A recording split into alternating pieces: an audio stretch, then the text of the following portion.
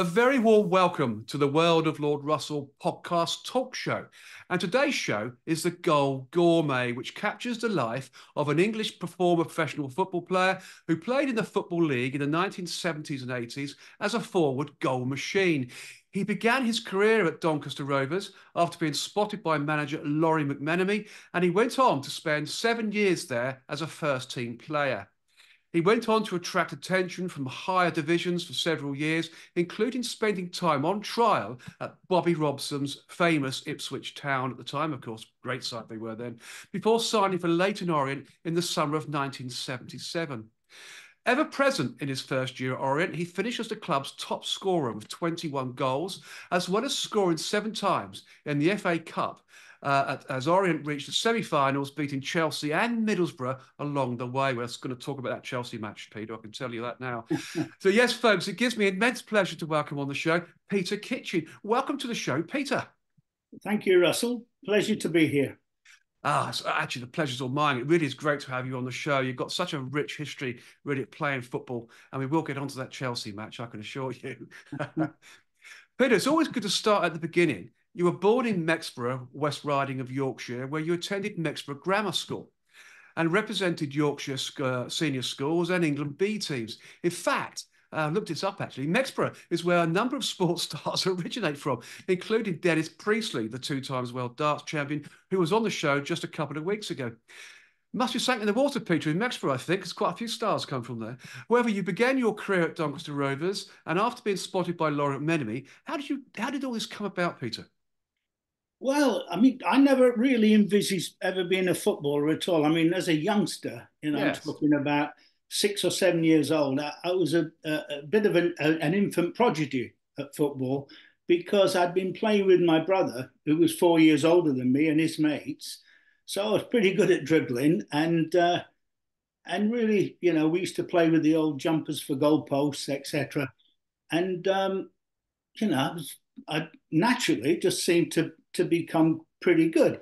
And I went to junior school, and at seven years old, I was selected for the under 11s team and ended up being captain for two or three years um, in you know junior junior school level and played for the district team and then I I sort of lost a little bit of interest in football as I got into my teens and like most teenage boys I was more interested in sampling Yorkshire bitter and and uh, cider and uh, and you know trying to chat girls up, finding girlfriends, etc. You know, exactly normal male, normal male young lad, sexual.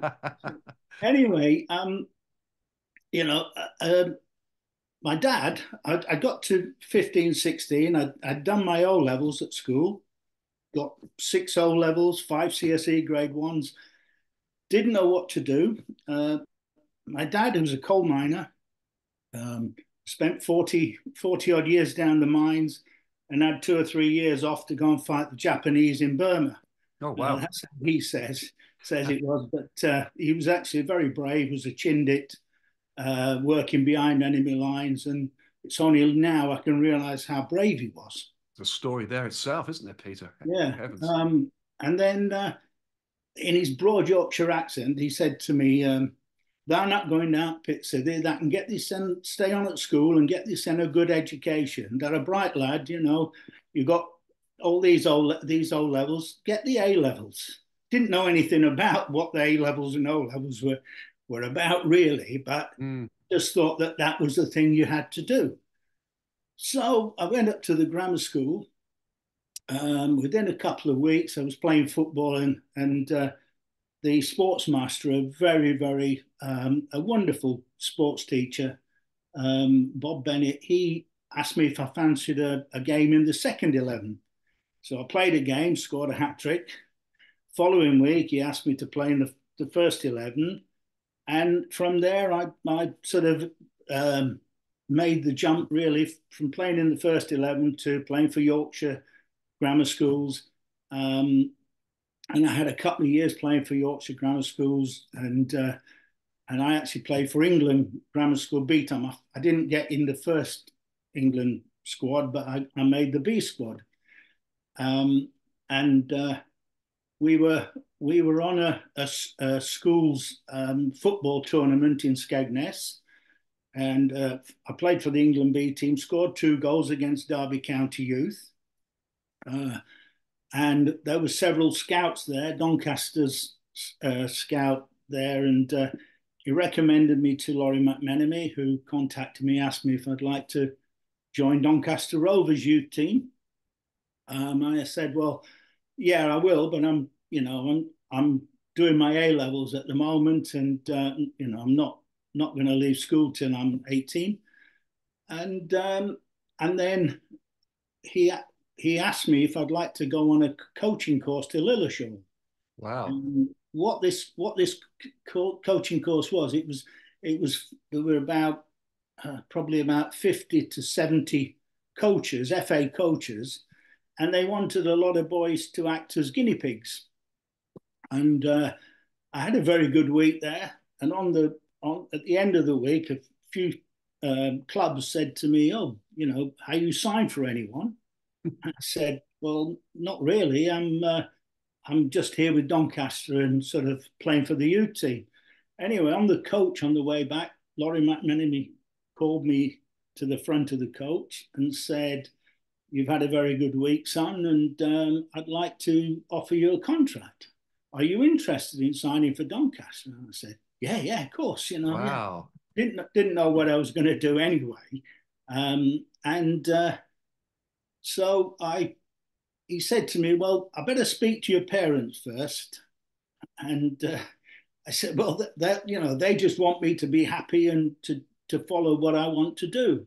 He said, I don't care. I'm going to come and see them, and uh, he came to our house the following about three or four days later uh, with a contract, and uh, he turned up outside uh, the house in one of those old-fashioned racing green Jaguars. Which, you know, which, you know, knowing Mexborough as it is now, the wheels wouldn't have been on it when he left. but in those days, you know, you, you never locked your, your car door, and and uh, you know, crime wasn't as as like it is now.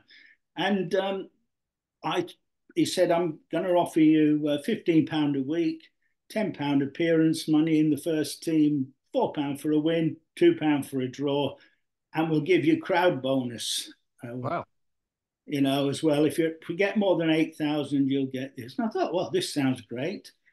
Um, he said, he'll also give you a signing on fee of £250, which was a sort of a, a regulation signing on fee and they gave you 125 at the start of the season and 125 at the end. Anyway, so I said, God, this sounds, yeah, great. I'm all right. And uh, yeah. so I signed the contract.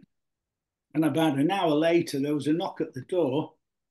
And uh, this this guy came to the door. He said, oh, "Can I speak to Peter Kitchen, please?" I said, uh, uh, "Yeah, that's me."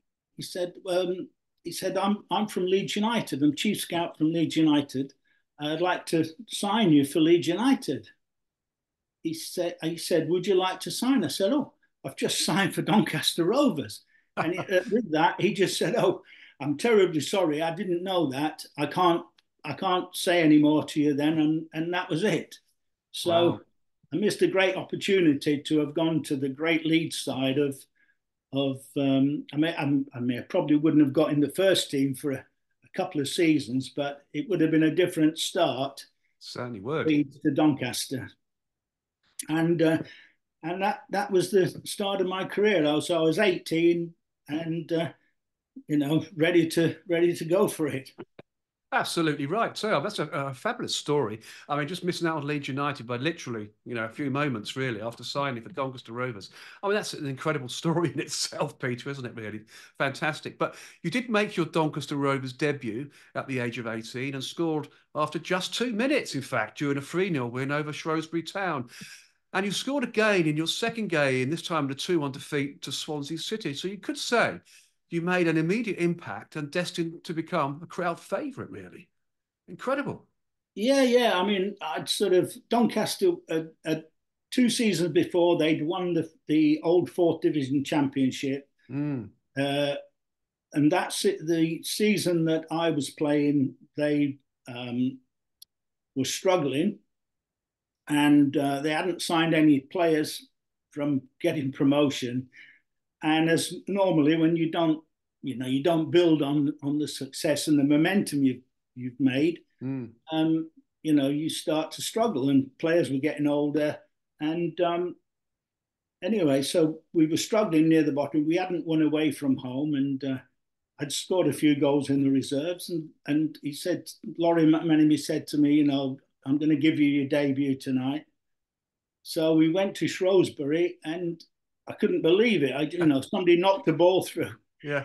And instinctively, I just volleyed it, and it rocketed in, you know, and. Uh, we we ended up winning the game 3 0 and and then the following week at home we played Swansea City and uh, another time I was not through and I managed to drop my shoulder beat beat the the player and the keeper and rolled it into the net and uh, they, they used to Lawrie McMenemy started saying to me if you don't score within the first half I'm going to bring you off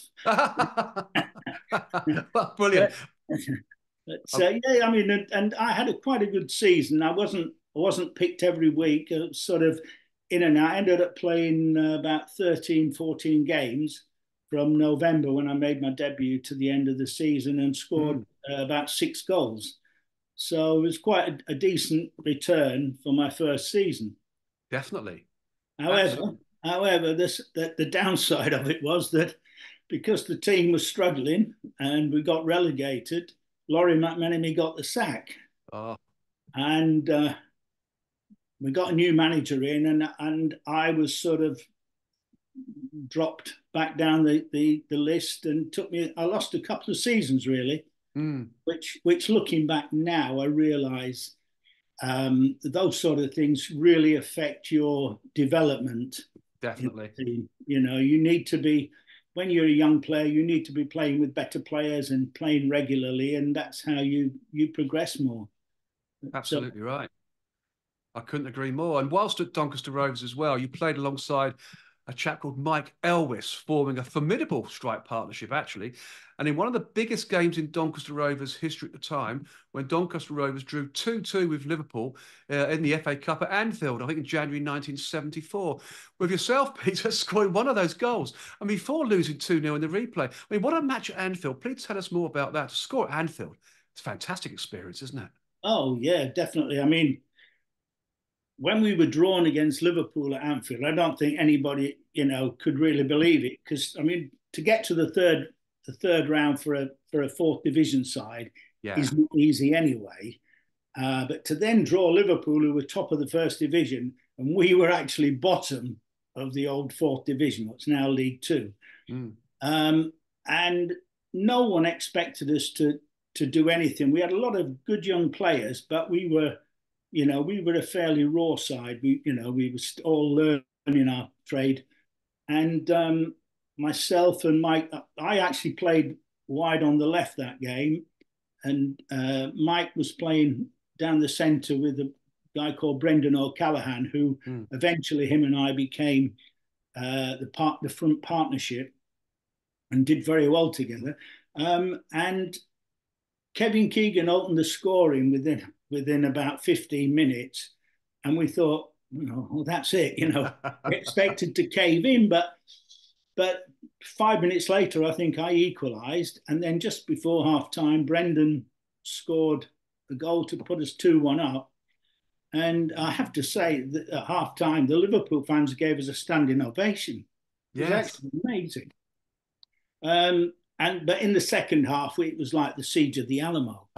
and you know, expect really, yes. Kevin Keegan was, you know, one of one of my heroes at the time, and and he he scored an equaliser, and you know they were they were bombarding us the whole of the second half. We were we were just getting behind the ball, mm.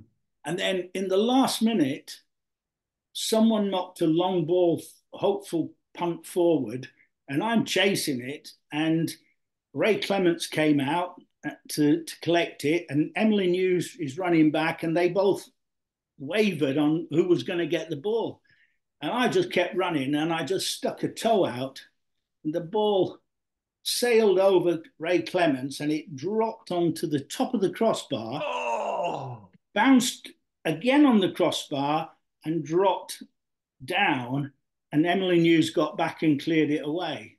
Oh, uh, and that could have been probably one of the you know FA Cup shocks of all time, a bit like uh, Hereford and Newcastle. Um, Absolutely, three two uh, win at Liverpool. It was, it was, a fantastic experience in front of thirty odd thousand fans, and uh, unfortunately we lost the uh, we lost the replay two 0 which mm. was which was um, was played on a Tuesday afternoon um, and and my great friend Terry Curran, who I know has been on your show, he, he was playing as well, and um, it was it was played at two o'clock because it was the miners' strike. Oh, yes, so there was no, you know, there were all these power shortages and power outages on oh. a regular basis. Oh, I remember that. Oh dear. so uh, twenty odd thousand in in Belle Vue at Doncaster, but you know when you when you play in the top side, you you only get one chance. You do. Usually, anyway, and, and you've got to take it. But fantastic experience. Oh, absolutely. And you made a very poignant, a poignant statement there, actually, Peter, as well, that the Liverpool fans gave you a standing ovation as you were leaving the pitch for, for, for, you know, after the first half.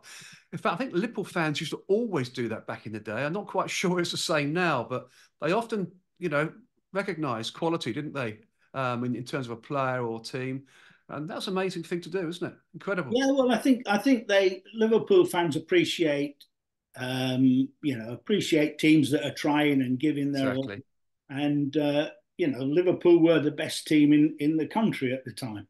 And you so, were bottom of the fourth division, so yeah, absolutely incredible. So yeah, it was it was a wonderful experience, and it probably gave me the confidence then, and I I then, as because shortly after that, I mean, the manager got sacked from him, uh, Maurice Setters, who I didn't really yes. get on well with, um, and he was replaced by Stan Anderson, who'd been manager at Middlesbrough and, uh, mm. and played for all the top northeast sides, and uh, that sort of gave me the confidence in myself and uh, from then I, I started I was playing up front all the time and you know became a 20 odd goal a season man for the next yes. four seasons. So it's a great it's a great uh, you know base to, to build on. Yeah it's amazing isn't it that uh, you know simple change like a manager change how it can uh, be good luck for you or bad luck. You know it changes the environment doesn't the dynamics can change instantly um, you know, whereas you were probably under Lawrie McMenemy, one of his favoured, you know, youngsters to go play, and he would have played you more often, wouldn't he? There's no doubt about that. Oh, um, yeah, definitely. I think you know some players don't need, um, you know, managers to be to give them the confidence. They go mm. out there, sort of. You know, I've heard Graeme Souness say on Sky, you know, I didn't need the manager to like me or anything like that. I just went out and did that. But we're not all the same. No. And sometimes you need an arm around you and a bit of encouragement and to give you confidence. And and Stan Anderson coming in for me was was a brilliant thing because he just gave he used to say to the team, you know, every time you get 30, 40 yards from goal, look to play in Peter because he'll get he'll score for you. Brilliant. And you know, from there it just it, you know, and it was true. And I ended up scoring you know, 25, 27 you know, goals a season. It was, uh, and it was, and it made a big difference to me. I, I finally believed in myself, shall I say? Absolutely, and of course, you were also starting to attract attention from the higher divisions for several years, including spending time on trial at Bobby Robson's Ipswich Town before signing for Leyton Orient in the summer of 1977. So tell us more about your experience with Bobby Robson. What a great man he was, wasn't he? And your oh. trial at Ipswich Town. Then, of course, your decision, to, the decision, I should say, to sign for Leyton Orient. Well, yeah, it's um, it was it was a, a, a brilliant experience, but it ended up being a very sad sad occasion in a sense. But Mm. Um, I, it was the end of the, the, coming up to the end of the 76 77 season. My contract, I'd refused to sign a new contract because I wanted to play higher level football. Mm. Um, and the chief scout at Ipswich had been watching me, and and they they wanted me to go on on a trial for a, three or four weeks to the end of the season. And uh, the first team, the first team had more or less finished. I think they finished third in the the old first division and uh, they they'd gone off for a, a, week or two to the Middle East to play a couple of exhibition games. So I played um, I played a reserve game, uh, funnily enough, against one Cardiff City, who I later played for, and then when the first team came back, I played in a couple of um, testimonial games. I think one was at Cambridge or uh, Chelmsford or somewhere like that, and I scored a couple of goals and Bobby Robson called me in on the Friday, the last night uh, before I was going to leave to, to drive back to uh, Doncaster, and uh, said that I'd done very well, and he he wanted to know how much he thought Doncaster would want for me. I said to him, uh, "Well, in the paper they're saying they want seventy thousand, but in reality, I think they'll accept 50. And he said, he said, well, he said, I was thinking more of 25. and I said, Well, I don't think they'll accept that. He said, Well, leave it with me. I'll see what I can do. He said, But he said, I can't even promise you a game in the reserves. So I can't I can't up it very much. He said, I've got Whymark, Mariner, and Woods in the first team. I've got Brazil, Alan Brazil, Eric Gates, um, what sight that was. Yeah. He said, I've got those two um, Keith Bertschin. Yes. And David Geddes, who's on loan at uh, Luton, I think it was, or Aston Villa. Um, so he said, I can't even promise you a game in my reserve, son. He said, and these lads are 21 and you're 24, 25. Um, and to which he said, but leave it with me. I'll see what I can do with. I'll, I'll speak to Stan Anderson. Apparently, they he offered twenty eight thousand, but Doncaster wouldn't wouldn't come down, and uh, and then I I um, I got the offer a few weeks later to go to Leyton Orient, and then I was a bit reluctant to. I didn't want to move down to London. Mm. You know, I was on the list, on the transfer list. It was common knowledge because my contract was up. And I said, I don't mind where I go as long as it's not London. I don't know why, because now I live down here, I love it. But yes, strange, isn't it? At the time, I didn't really, I, you know, it, it it was a big big jungle down here, and I thought I don't know if I could settle. And um, so I, I ended up having three visits to come down and talk terms, and they kept we kept negotiating on the contract, and I kept saying no, I'm I don't want three years. I might not settle. I'll be homesick. Um, you know, I don't want. I want more money than what you're offering me. I don't know if I can afford to live down here. You know, all yes. the usual uh, pragma- practical things you have to consider. Um, Definitely. Um, and um, on the third, the third visit, they agreed to everything I'd asked for, and they said, "Look, we, will give you everything you've asked for. Will you will you sign?" We really look after you here. And I said, okay, I'll sign. And we shook hands on it. Shook hands with George Petchey, who was the manager, and uh, Brian Winston, who was the chairman. And I went back on the train to, to Doncaster. And when I got back, I got a phone call from Stan Anderson. And he said, oh, how did it go? I said, yeah, well, I, you know, he said, have you signed? I said, well, I haven't signed yet, but I'm going to. I, I, you know, I've shaken hands with the chairman on that, and uh, he said only we've had another offer that's come in, and it's it's matched Leyton Orient's offer. And I said, well, who is it? He said, well, you know, I'm not going to tell you because you've already agreed to sign. I said, look, I've shaken hands on it. I had this old-fashioned, you know. I suppose mor- morality that you know if you shake hands and agree as a gentleman's agreement, absolutely. And um, he said, "Oh yeah, we've had a, an offer from Keith Keith Burkinshaw at Tottenham, um, and uh, they they've matched what Oriental are paying." And I said, "Well, I was gutted, but I said, well, you know, that's I've shaken hands. I can't I can't go back on my word." And uh, so that that I signed for Leyton Orient, as it you know, and that was it. A touch of deja vu there, isn't there, Peter? Really, it was Leeds United just before, uh, just after you signed for Doncaster. You've made an agreement, you know, gentleman's agreement, shaking hands for Leyton Orient, and of course, then Tottenham Hotspur come along. I mean, what a story! It's great, isn't it? But well, you know, I think I think I mean, it was a different time back in a different time, you know, in the seventies and to now. And also, there were no agents. Mm. Uh, I had no one really to advise me. My dad was a, was a lovely man, but he didn't. He wasn't into high level contract negotiations or anything, mm. you know. And uh, and I was basically on my own and making these decisions. And uh, you know, I just felt that I couldn't go back on my word, and and um, you know, I, I, sometimes think what would have been, you know, because to play with players like Glenn Hoddle and who I, th- you know, was one of my favourite players of all time. Of course, yeah. Um, you know, the, the the quality of the balls that you get and and the service you get from these, and, and especially as we know, Tottenham were then one of the great attacking sides of of that era.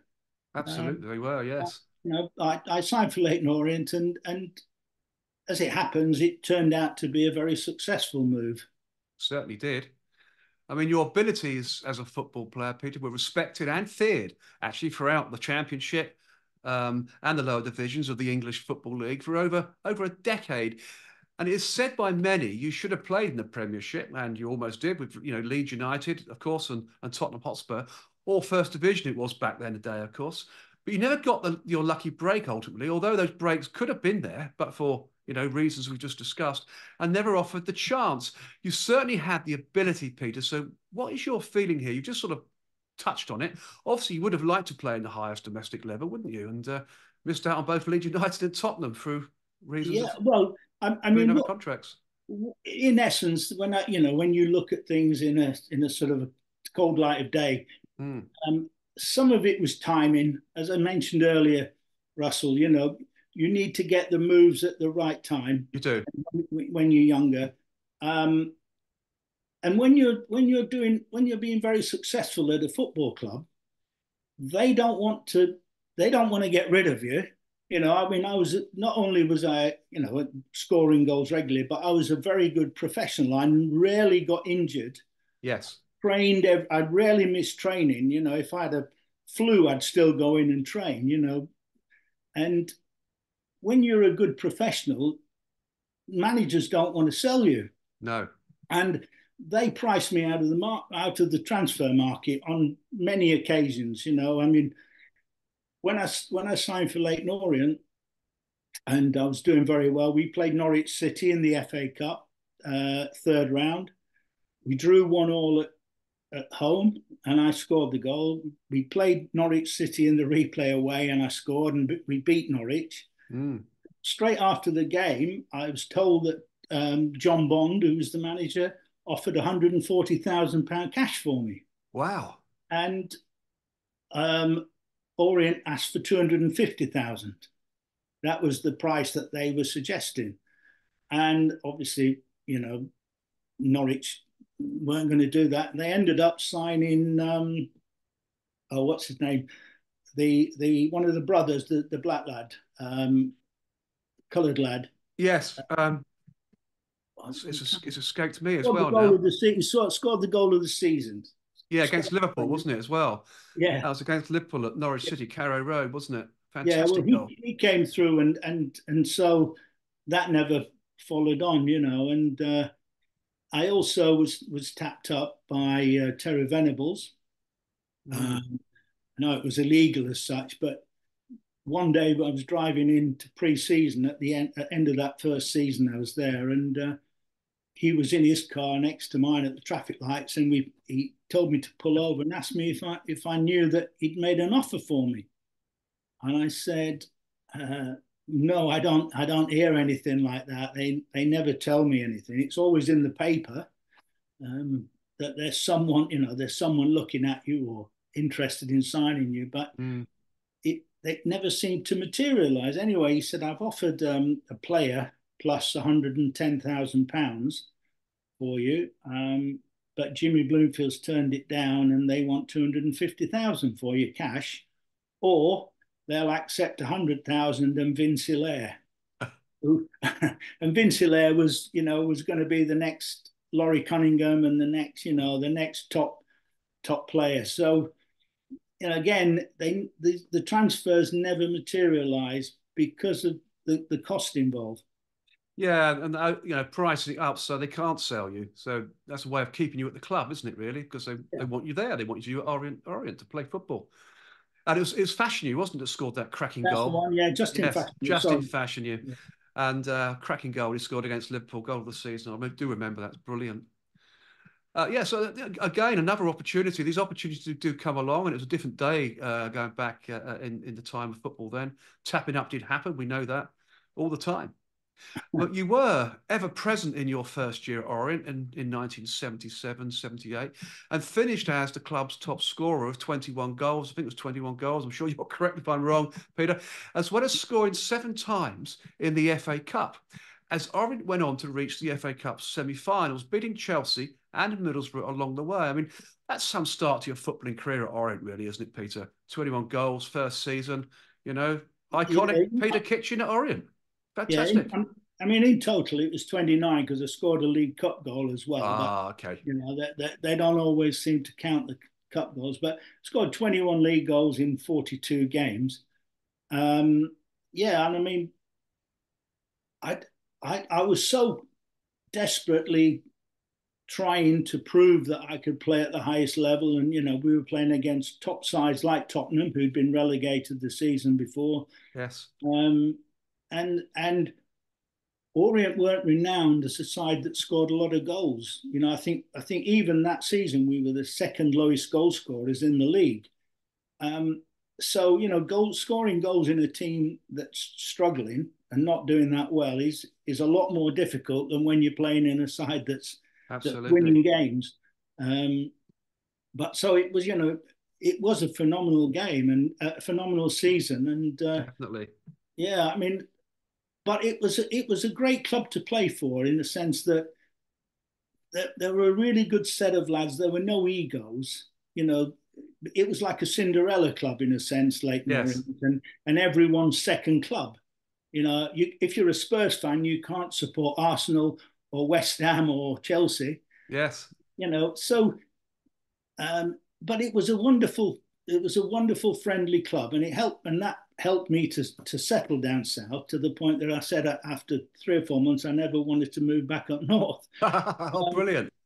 But you know, when, when, we played in the FA Cup, um, you know, we we weren't doing so well in the league. We were in the bottom half of the league, but in the FA Cup there was a different mindset. You know, we. Mm um, well, Jimmy Jimmy Bloomfield didn't was the manager, and I mean, I didn't, you know, I'm not going to talk ill of Jimmy because he he was the sort of manager that that um, he liked experienced players, and he he didn't do a lot of coaching.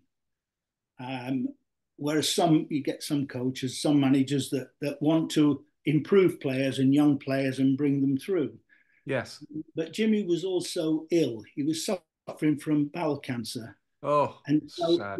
You know, very, very sad. He died in 1983. Oh, sad. Um, and we only found out as the season went on just how bad his his illness was. Mm. Um, but he he so he missed quite a few games, and um, the assistant Peter Angell, who'd been a was a lovely man, and uh, he'd been at QPR for all most of his career. Was a, mm. a real, a real. He encouraged. He was very positive and always encouraged you to go forward and to try and to try and attack. And we were playing. Uh, we'd drawn with Chelsea at, at home, nil nil, and uh, right. And the wall collapsed, and uh, you know there were no no serious injuries. I was at the game actually, Peter. To be honest, at Brisbane Road. All right, uh, yeah. Well, I think Jack. I scored a goal that was disallowed, and then late on in the game, Jacko, John Jackson, the goalkeeper, he pulled off a phenomenal save, and it, it ended nil nil. And no one expected us to to win the replay at Chelsea. Um, and in the first half, I was getting kicked to death by Chopper Harris. You know, you'd expect was, that against Chopper.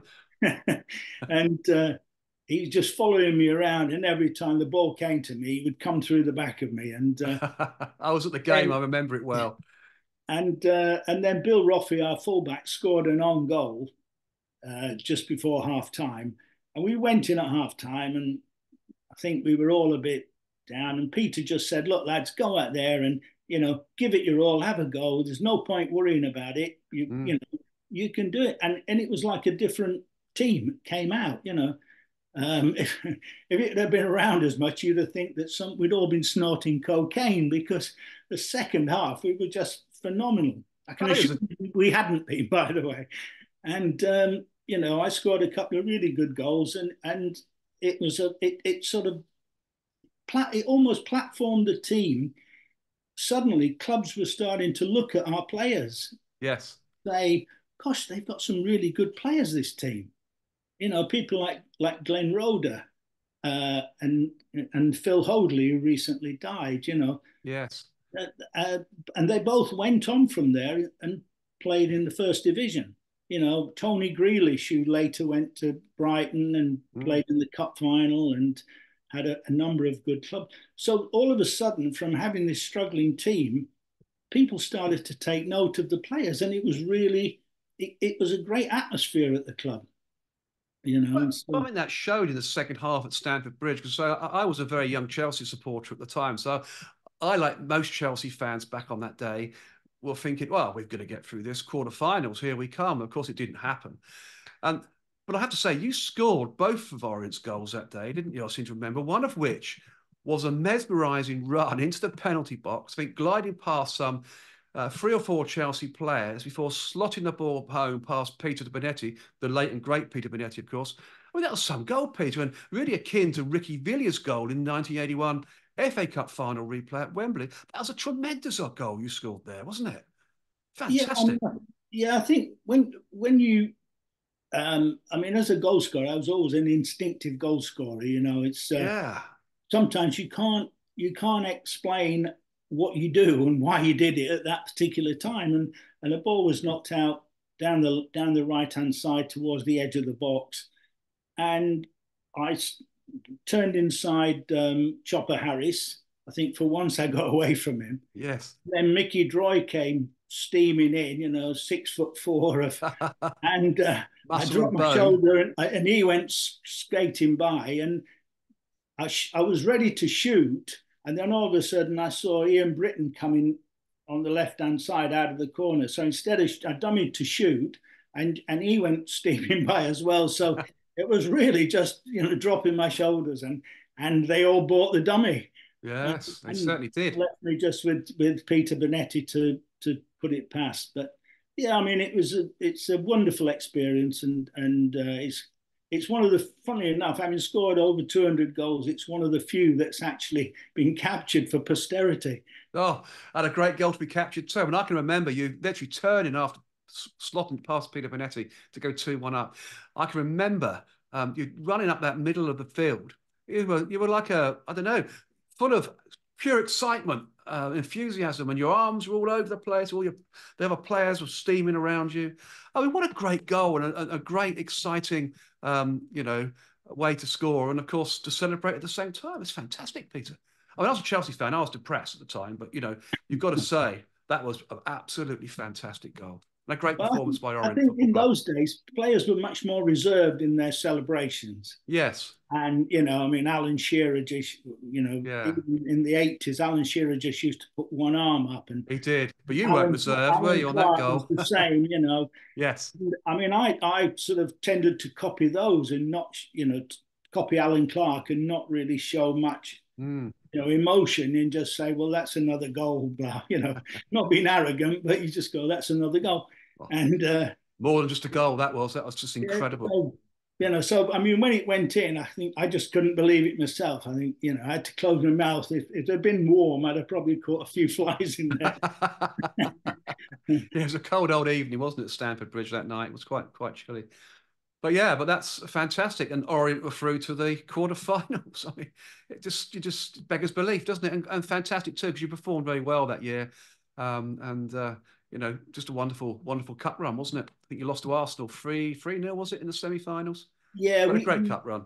Yeah, we we drew. Um, we played Middlesbrough. We got That's Middlesbrough it. in the sixth round, and at at um, Ayresome Park, and I don't think any of us really fancied, you know, a trip up there. And I know that the oh. supporters uh, that I've spoken to since were terrified because Middlesbrough had a terrible reputation in mm. terms of fighting and and beating up, you know, travelling fans. And um, I don't think any of us really looked forward to it. But when we no. went there, we we just, I think everybody got behind the ball and we just tried to get a draw. And fortunately, you know, it worked. You know, they missed a couple of chances to have to have won the game. We hardly got out of our half, but we got the we got the game back at um, at Brisbane Road, and uh, I, you know, I I scored a goal. I think after about six minutes with an overhead kick from from just out on the edge of the box, which wow. you know was another one of those instinctive goals that is you know you don't score very often. Um, and and Big Joe, who was my striking partner, Joe Mayo, he scored a, a second one, and and then you know, we, we were holding on in the second half because Middlesbrough were trying to get back and they got a goal back. But we, we held on and got through to the semi finals for the first time in the club's history. Brilliant. Brilliant cup um, run. And I, I think we were all hoping we'd get West Brom because there was there was Ipswich, uh, Arsenal, and West Brom, and we were all hoping we'd get West Brom because we thought we'll have the best chance against them yes. getting something. But unfortunately, we drew Arsenal, and uh, on the on the day, everybody thinks we froze, but I don't think we did. We went out there um, with the intent on just staying in the game as long as possible and hmm. hoping mm. that we would grow into the game. Yes. Maybe, you know, I'd get a chance to nick a goal or, you know, we'd get a free kick and somebody had head one in or, you know, and, um, you know, we, we, we really were up for it, but we just couldn't, you know, we were, we were under lots of pressure. And then Malcolm Macdonald scored two goals or claimed two goals that were that were deflections. Mm. Uh, they were going out. It wouldn't have even hit the hit the target, but they bounced off two of our defenders into the goal. And when you're two 0 down against a club like Arsenal, mm. um, you know you, you it's not easy to get back. You know you're chasing, chasing, trying to climb a mountain, and and it was a, it was just a bit too far for us to to get back in it. But it was a, it was a wonderful experience, and and uh, you know what a fantastic season. You know, was. personally, I, I, had a, you know, I won goal of the season, player of the year, um, Daily Mirror Footballer of the Month, Evening Standard Footballer of the Month. You know, for me personally, it was a it was a wonderful um, pinnacle, really, of my of my career. Definitely, absolutely right there, Peter. I mean, moving forward, it's quite a poignant thing to say. Moving forward a few years to 1999, you were voted by fans of both Doncaster Rovers and Leyton Orient as one of their greatest ever players, and in more recent polls conducted by BBC Football Focus, 442 magazine, and other popular fanzines, you were voted as one of the best players at both clubs, with some of those polls taking more than 20 years after you played for them. It's incredible, isn't it? And even today, you're still considered a cult hero amongst both sets of fans. I mean, that in itself, Peter, tells a great footballing story, doesn't it? I mean, how does this make you feel? I mean, you must be honoured, I'm sure. Oh, definitely. I mean, in any in any job, you, you want to be appreciated. Yes, you do. Um, and uh, to to have had so much success at, at, two of the clubs I played for, and to be so well thought of is you know is is wonderful. Really, I mean, you know, I've been voted into the Hall of Fame at both of those clubs. Quite um, rightly so too. You know, and and um, at Doncaster, they've got a, a big picture of me behind the goal and they've named one of their bars after me. And at Orient, they've named one of the tower blocks after me and a, and a bar um, in the ground. So, you know, you can think, well, yeah, maybe I, if I'd have gone to Tottenham, I, you know, I think I would have done well, but, mm. but I probably might not have had the accolades that I did have by playing, you know, at, at Orient and Doncaster. And and you know, at the end of the day, you all we are have is memories, and so you can exactly. look and feel very happy with your contribution. You know, in that respect. Yeah, and those memories, those moments, no one can take them away, can they? Really, and uh, you certainly had a, a very rich life uh, in football at those those two clubs. There's no doubt about that whatsoever. And I saw, I think, a Facebook, one of your social media Facebook uh, posts uh, just recently, where you were at uh, at Doncaster Rovers for an end of the season match, or it may have even been the playoff semi final. I, I, can't remember. And you are definitely epitomised around the ground and in complete glory. There, there is a large picture of you, as you say, behind one of the goals. I mean, that's fantastic. Some accolade, Peter, isn't it? Really, for a club to to look at you and, and, and bring that into the into the ground like that from all those years ago. That's incredible, really. It's an incredible journey. Yeah, I think you know to, when you think it's it's sort of forty odd years since I played for both clubs. Yeah, exactly. Um, yeah, it, it, it's um, it makes you feel very proud. Yeah, definitely. And uh, and you know, I went, I went, up to Doncaster only last week to see the you know, second leg of the playoff final, and yes, you know, I was a guest of the of the former chairman, and uh, you know, he, we were we were talking, funnily enough, and he was saying because he was chairman for 15 years, and uh, John Ryan, and he took the mm. club, bought the club when they got when they uh, got relegated from the football league, and he took them all the way back up the leagues to the championship in his 15 year tenure. Yes. And, you know, he said, you know, you and Alick Jeffrey are my my heroes. Wow. And that must have been the Facebook post, social media, social media post I saw of you being at Doncaster Rovers I mentioned earlier on, and uh, that's that's fantastic, isn't it, to be invited back by the then chairman? You know, yeah, and, a... it, it, well, yeah, and I mean, it, you know, fans still come up to you and say, "Oh, you were my hero," and can I have a photo? And wonderful. You know, and it's uh, yeah, you know, you you can't really. Um, well, you, I mean, you must enjoy that sort of. Anybody would enjoy that sort of adulation, really. Oh, I quite agree. You know, agree. And, and, I mean, I, I don't lo- lose sight of, um, you know, where you come from and and that, and it's it's just a, a very nice to to have been uh, recognised in that way. Quite right too, and long may you continue to be, to be recognised too. I'm sure I get many invites back. Do you ever go back to Orient at all, Peter? Do they invite you back? Oh yeah, yeah, definitely. I, I spend a quite a I go to quite a few games. Um, I I do an online um, match preview. Cool, uh, brilliant. Been doing for about six or seven years now, um, and a and a match report. But it's not it's not like um, a journalist report saying, you know, so and so scored this in this this minute, and and I tend to focus on the sort of intangible things about a game, you know, the yes. psychological, uh, or what systems they were playing, whether or not the the, the managers they agree, the players agree with the manager's tactics, you know, the things that that are not necessarily so readily obvious when you when you're watching a game. You know? I quite agree. You have to invite me along. I'll come down and come down and watch a game with you at Orient. That'd be fantastic yeah. thing to do. Um, yeah, I um, mean, it, I mean, a lot of managers, you know, a lot of sorry, a lot of fans fans will say, um, you know, after a game, they'll say, "Oh, the players weren't trying. The players weren't, you know, they're not, they're mm. end of seasons here already. They're not, they're not bothered." And I've never really known a professional footballer not to try and not no. to give his all. And when it's when that's happening, I always say to them, I don't agree with that. I think what you'll find is they probably don't believe in the way the manager's playing or mm. the tactics is in, in, in, you know, imposing on them and asking exactly. them to play.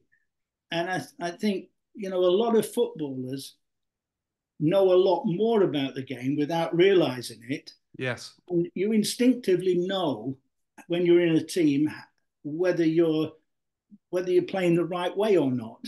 You know, I, I can remember I can remember an incident when I was at, at Fulham, and uh, I'd signed for Fulham, and uh, we were playing we were playing um, I think it was Cambridge away, and I didn't I didn't I, it was a big mistake going to Fulham because the manager and the vibe at the club wasn't the same as at Orient, and and the manager I didn't really like at all. He, he, you know, in my opinion, I say this, he was a bully.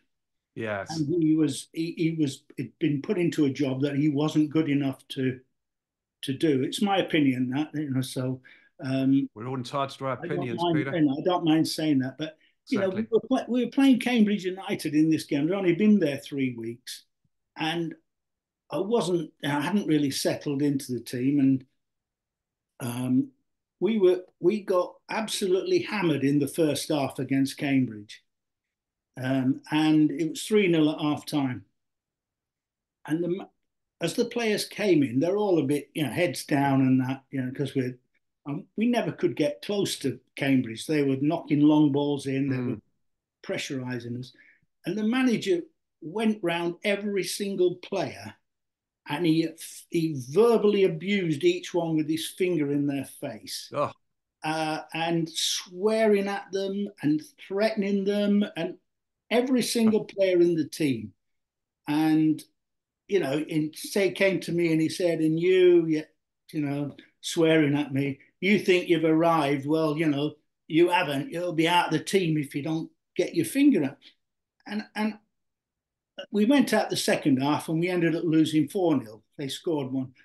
And after that, I thought, you know, because I used to be a, a, deep thinker about football. Yeah, of course, yeah. Um, and I, I thought, that is not the way to lift players and manage players. You Definitely know, not. Everybody needs occasionally a kick up the backside, but it's how you do it.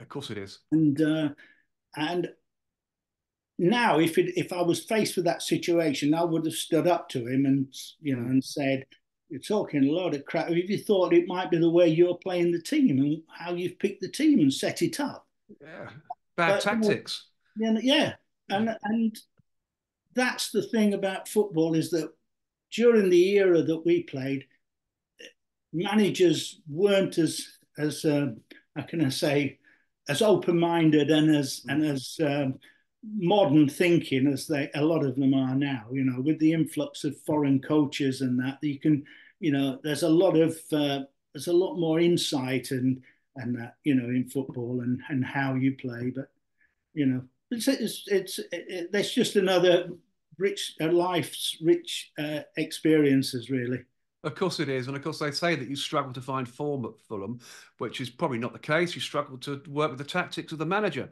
and to deal with the manager. And of course, your second year at Fulham, um, you had suffered with a series of injuries, which saw you miss most of the season anyway. And Fulham were, were eventually relegated and you moved to Cardiff City. Yeah, I mean, the second season there, I, I only missed, I was only injured at the start of the season. Oh, okay. Um, and I was out for about three or four weeks. And during that time, um, Gordon Davies, who went on to become Fulham's record goalscorer, came yes. into the team and did very well. And you know, good luck to Gordon. You know, he's a good player, he, wasn't he? He was a good player, and and that. But the the team was still struggling, and mm. they got relegated at the end of that season. And I played the whole season in the reserves when I got fit, and I think I scored about thirty four or thirty five goals.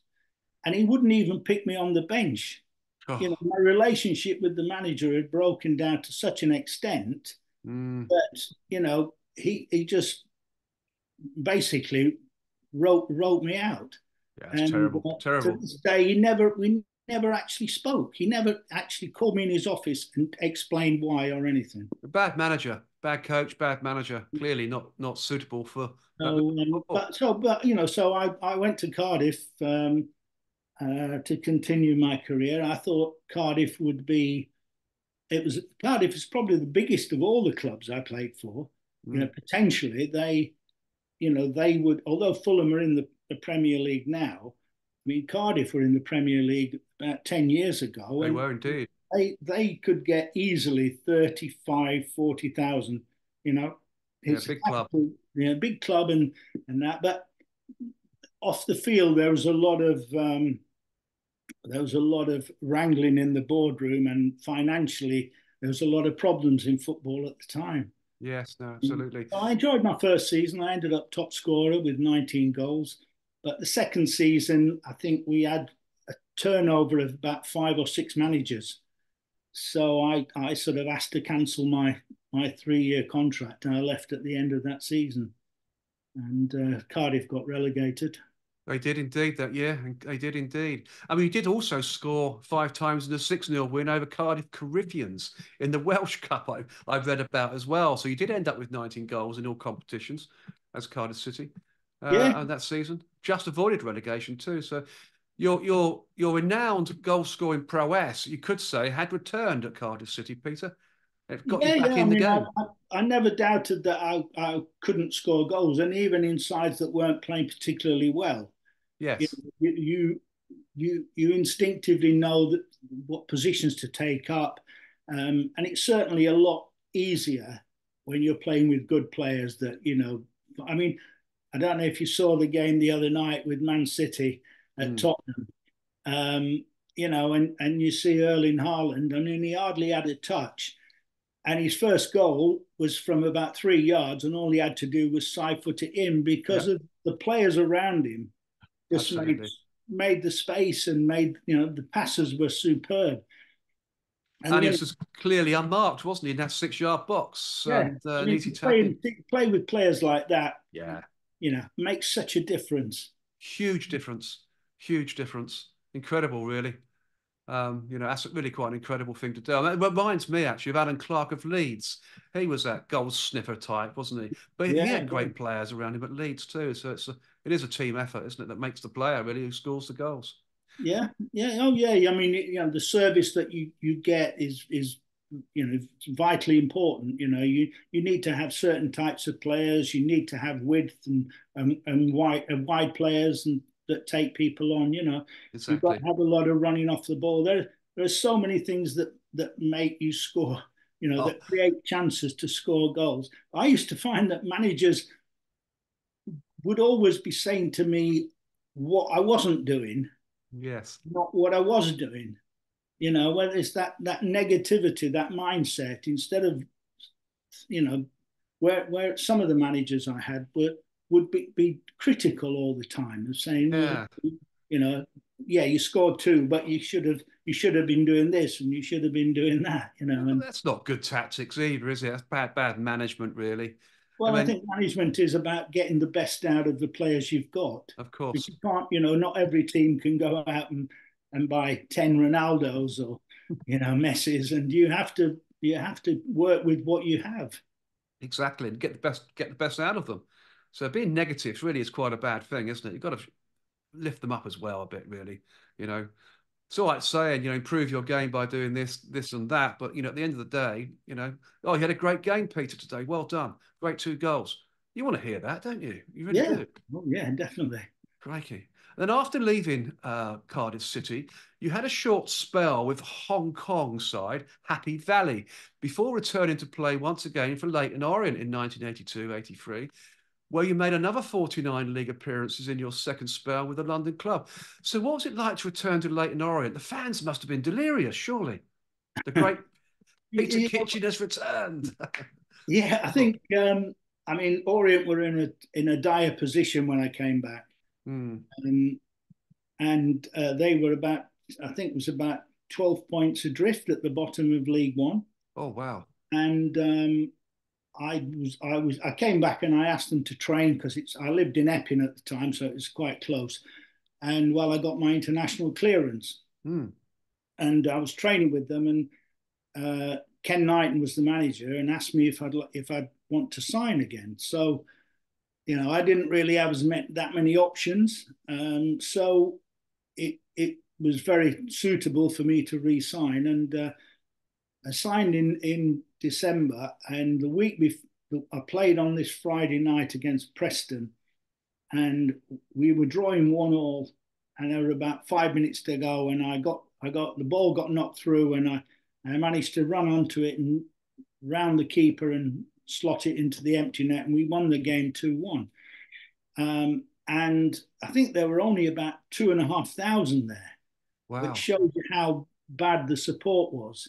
Yes. But from then on, we we won six on the trot and got out of the bottom four before I broke my toe and and was out for about six or seven games. But I came back for the last few and scored in our last game. To we had to beat Sheffield United to stay up, and and we did, and, and stayed in the, the league. So it was almost like a rescue, another rescue act in sense of you know stopping them from going getting relegated because when I was at Doncaster, when I was at uh, Orient in my first spell, the last game of the season, we had to beat Cardiff City to stay in the championship.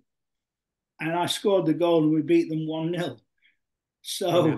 you know, I kept I kept Orient in the championship and I also kept them in League One um, in both, you know, in both spells. So yes. I'm sure that's part of why I was so um, popular at the club. Oh, I'm sure it's, it's, not just those those those seasons or those games. It's probably the whole of the time, the whole tenure at Orient, you know, including that FA Cup run to the semi-finals. Uh, yeah, I mean, you, you are literally an icon, so that's just great, isn't it?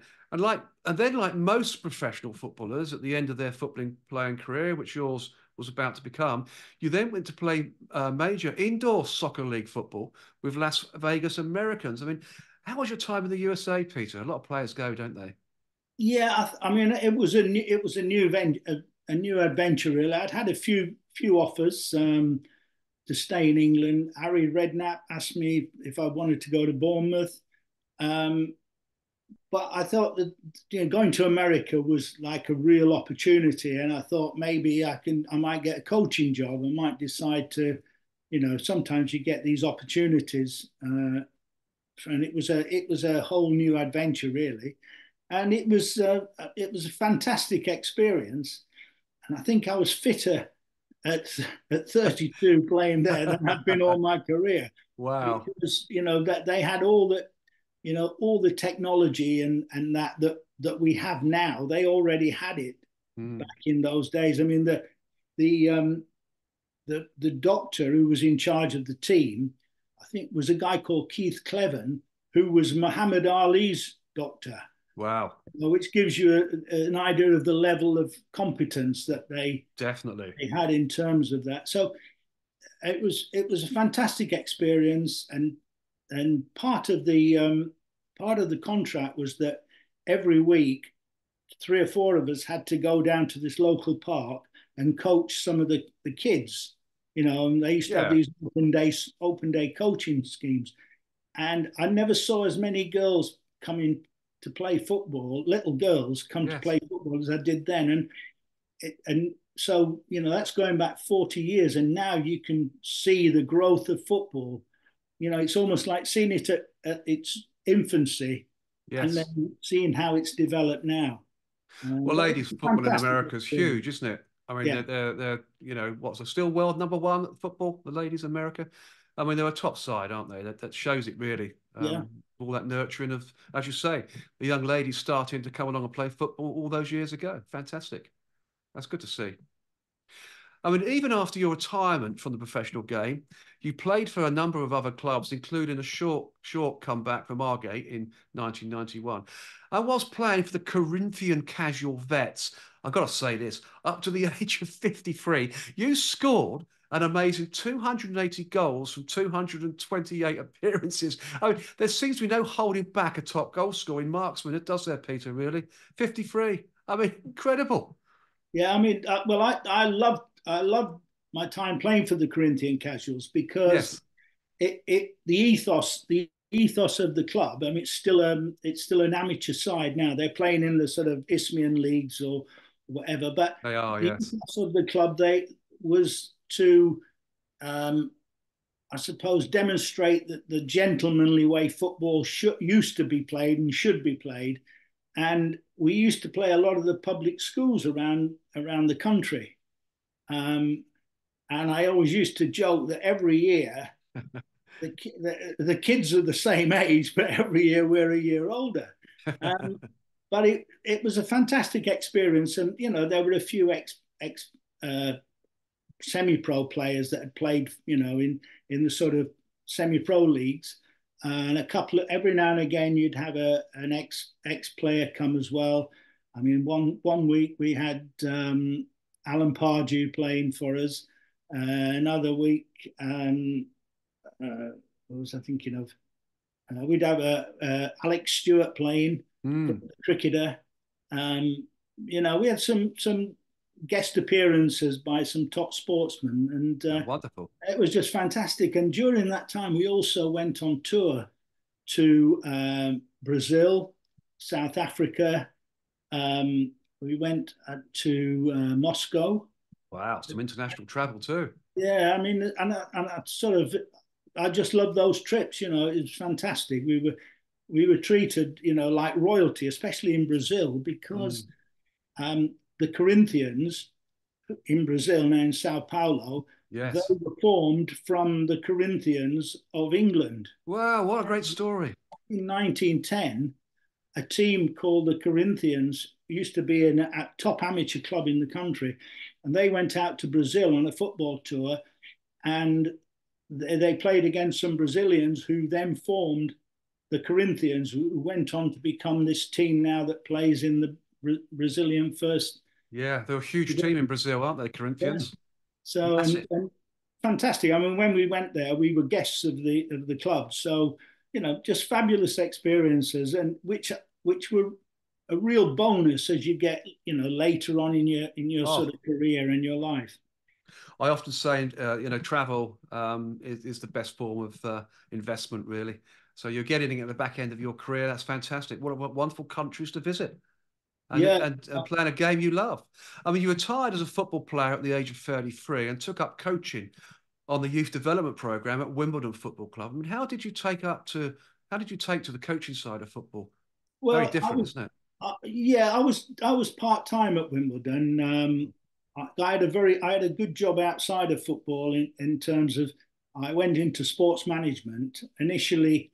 Um, I went back to, funnily enough, I went back to uh, college and did a, a, postgraduate business diploma, and um, I became a, I got a job as a leisure centre manager, and um, gradually progressed to being a contracts manager and then uh, operations director for a leisure management side. But it allowed me as well to have time to coach as well. So I coached at Wimbledon for about 10 years when they were in the Premier League. Yeah, wow. Managed, managed the under 13s, under 14s, under 15s. And, you know, I was I was there when they were the, the crazy gang. and, and, it was a it was a great club, I've got to say. You oh, know, yes. It, it wasn't like um, it wasn't rigid, it wasn't too structured. Um, it was full of almost mavericks, you know. Yeah, Vinnie uh, Jones, I, Dennis yeah. Wise. Oh, the list is endless. Yeah, good. I loved I loved coaching the kids. You know, I think mm.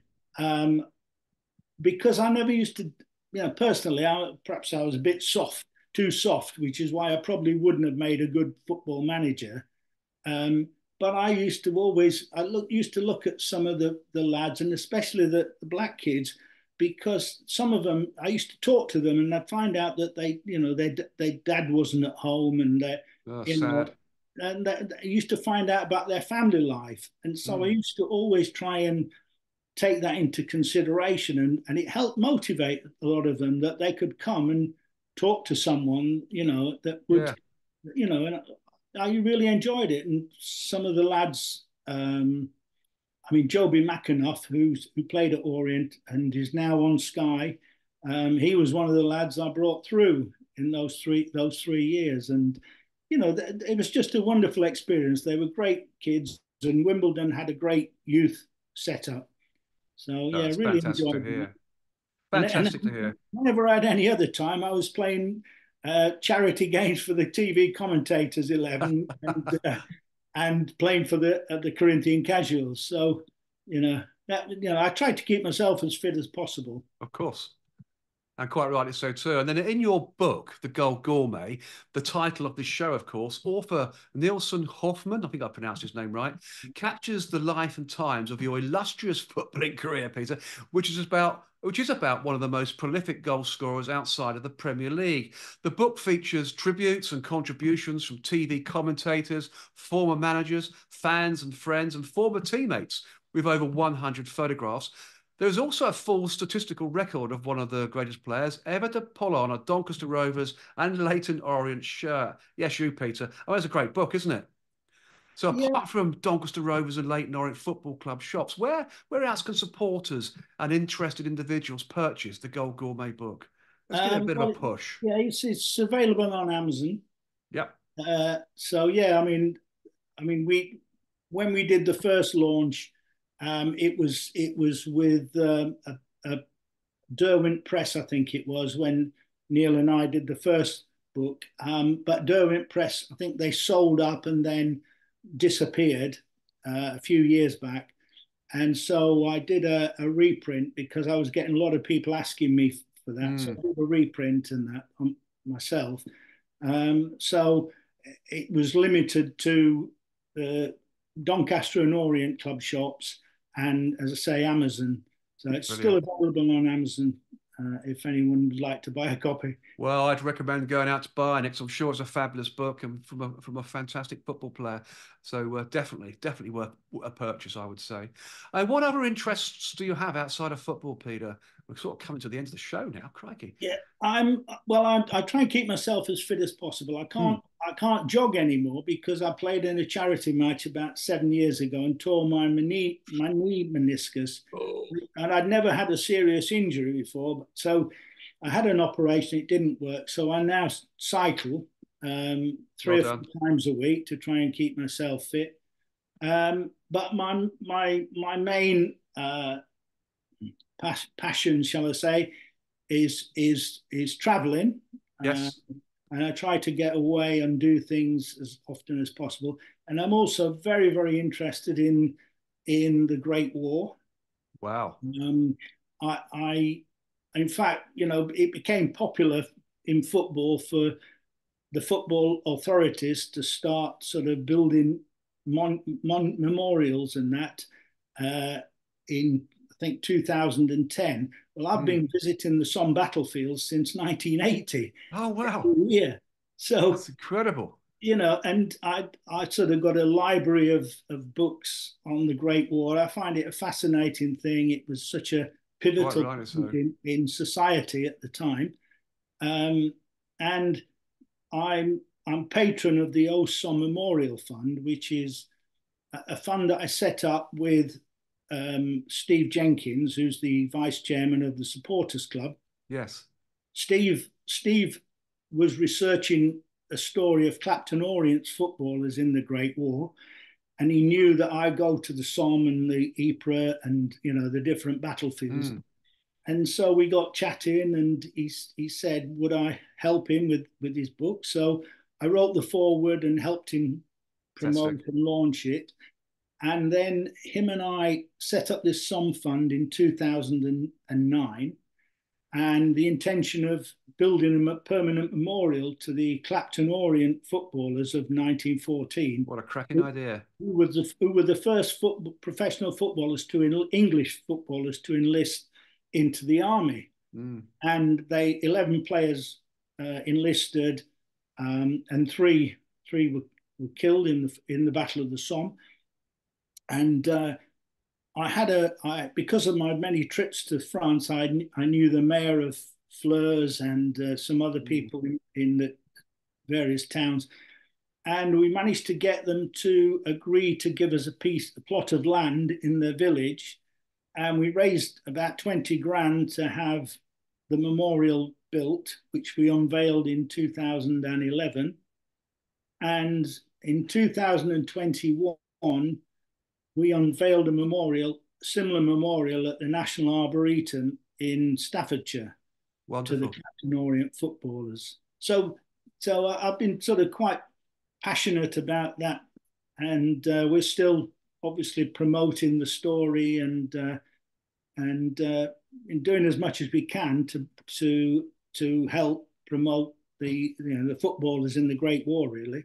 Quite rightly so too. My grandfather was in the Battle of the Somme, um, and he did get mustard gassed actually, um, oh. but somebody, one of his comrades, pulled him out of a, a rat hole, a rabbit hole, and he survived. But of course, uh, he he was in Portsmouth Hospital for about six months. I think he was temporarily blind for that time, um, but he survived. He became he wasn't an accountant, became a part-time fireman in Aldershot, and lived about 88 years of age. So you know, wow. there's testament to the great man. Fantastic, yeah. amazing, is. isn't it? So uh, I wouldn't be sitting here now if it wasn't he'd, he'd have perished. So you know that's a, a, a good thing, really. But yeah, uh, that's an amazing thing to do. It's a great passion, Peter, isn't it? The Great War. Yeah, yeah I find I, I it really is good, and it's it's great to actually bring um, to bring it to younger people as well to to, to know what happened in these. Exactly. Things. I mean, um, at Orient, we, have this this coming up this July because of our involvement with the story. We've managed to get Leyton Orient uh, to agree to play a friendly with Heart of Midlothian in July, mm. because Heart of Midlothian and a, and a number of other Scottish clubs they were the first Scottish footballers to enlist in 1914. Oh, amazing. Uh, and so we've managed to get the two clubs to agree to play a pre season friendly in July. Brilliant. Um, and hopefully, you know, that should be quite a high profile game. Mm. And we're also got a youth tournament in France at the end of August uh, for the Orient youth team are playing over there with against Linfield from Ireland okay. and from uh, a couple of teams in France. So you know we're we're trying to bring the story as much as we can into the into the public eye, and uh, you know we've been very successful in that, and, I, am very pleased with the work we've done. Yeah, credit to you. Absolute credit to you, Peter, for, for that. That's fantastic. You have to let me know the date of that match against Hearts. Um, uh, at uh, Brisbane Road because um, I am away actually. It's up in Edinburgh. It's it's uh, it's it's up in in at Heart of Midlothian's ground. Oh, wonderful! It's, it's, also their 150th anniversary, so they wanted to utilise that game as part of their celebrations. Are you going? I will be. Yes, I'll be there. Brilliant. So let me know when it is because I know I'm away for the first two weeks in July, but actually, you know, I'm back for the second two weeks and uh, I'd like to come up and and, and watch. Have a, have yeah, yeah, it. it. should be Wonderful. a fantastic occasion. Great stuff. Let me know the date. Anyway, we are literally an hour and 15 minutes, in fact, over. I mean, it's incredible. I mean, what a great chat we've had here. It's been amazing. It's truly. It's funny uh, because wonderful. I said, I said to uh, my partner Catherine before. She said, "How long will you be?" I said, "Well, I'm I'm not like Terry Cur- TC Terry Curran." I said, "He can talk. He can talk for England." and I noticed, I noticed you interviewed him uh, yes. last month, and he was on for about an hour and a half. There he was. Brilliant. and I said, "No, I'll be, I'll be finished in about an hour." So, no. so. Well, you're about an hour. nobody now. can talk as much as TC. He certainly can talk. what a lovely fella he is to a great man. TC, he is a wonderful chap. Top bloke, yeah. Top top footballer, top man, brilliant guy. So, could you mind staying on whilst I wrap up? Uh, we'll have a quick chat afterwards, particularly about yeah. Heart of Midlothian and Orient as well. That's yeah, fantastic no match. Brilliant, thank you. As always, on the World of Lord Russell podcast talk show, we could talk forever, Peter, about your life, an amazing life in professional football. It's been a huge pleasure as always, and as always, the pleasure is all mine, and of course, the show's audience when this podcast is released on the World of Lord Russell podcast talk show and the Lord Russell Baker YouTube channel. Thank you, Peter. Ladies and gentlemen, I give you Peter Kitchen a huge round of applause. Fantastic story, great show, it really is. Thank you, Russell. Really enjoyed talking to you. Oh, likewise. The next episode on the World of Lord Russell podcast talk show is Olympic Flame from Olympia where my special guest will be Lance Haggith, who is the founder of the Sports Traider charity in the UK and winner of the 2010 BBC Sports Personality of the Year Unsung Hero Award. Oh, incredible. Lance Haggith was a Royal Navy reservist for six years and a National League basketball player and coach. Lance Haggith was appointed Officer of the Order of the British Empire, OBE, in the 2022 birthday honours for charitable and voluntary services to vulnerable people, particularly during COVID 19. So, another exciting show to look forward to on the World of Lord Russell podcast talk show, available, of course, on all podcast media platforms and the Lord Russell Baker YouTube TV channel. And of course, I'm looking forward to seeing you all on the inside. So, until then, it's au revoir from him and au revoir from me.